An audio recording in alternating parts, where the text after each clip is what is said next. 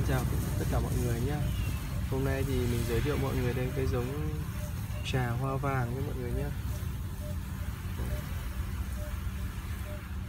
Trà hoa của nó thì ướp trà thì hơi nó ướp trà uống rất là thơm.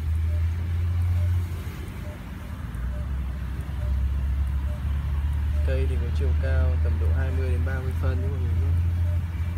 Cây ở trong bầu ổn định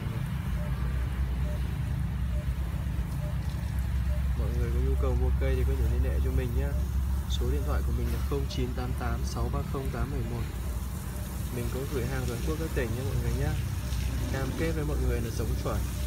Đấy, mọi người nhận hàng kiểm tra hàng giúp mình nhé đây mọi người nhìn lá này đúng như hình mình quay. Này.